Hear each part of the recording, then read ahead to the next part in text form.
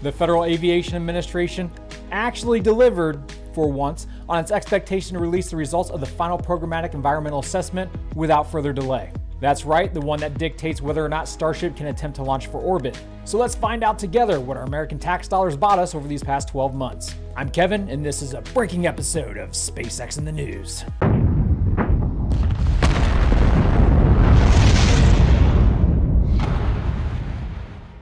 After a handful of delays and an entire year of watching the wheels of the government turn oh so slowly, the Federal Aviation Administration has revealed that Starship Super Heavy is go for launch, but with conditions.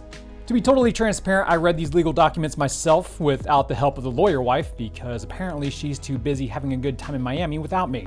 So this is just what I took away from the reads. The FAA has granted SpaceX a finding of no significant impact, or FONSI, which means the company can move forward with their launch to orbit under an experimental license so long as they take more than 75 actions to mitigate environmental impacts from its proposed plan. That will have to be done before the FAA gives them an official launch license for the Boca Chica area. This was the proposed action that was SpaceX's preferred alternative to not being granted a full on launch license. And if you want to read further details, like what those 75 actions SpaceX must take are, I provided a link to both the final PEA and FONSI below. SpaceX tweeted they are one step closer to the first orbital flight test of Starship. So the company will likely continue testing Stage 0 at the launch site, like they did last Friday with some chopstick deadlifts, and preparing Starship 24 and Booster 7 for upcoming static fires using new Raptor 2 engines. Thermal protection covers for the engines have been spotted on site ready for installation, as well as aero covers for Booster 7's hydraulic power units and Starship's aft flaps.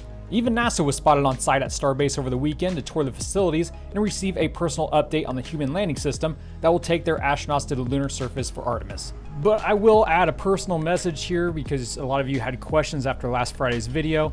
I wouldn't get too excited and expect to see an orbital launch anytime soon.